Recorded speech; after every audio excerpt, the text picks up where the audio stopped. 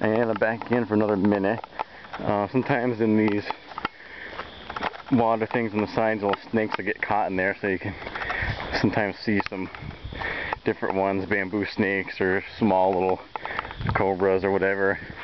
And once I got under that one time I was in the woods just up ahead and I look on the side and there's this big black snake down there. I had a group of kids and I was trying to ferry them by that real quick and then um, there's a whole big bunch of golden orb spiders and so like every five feet there's a golden orb spider.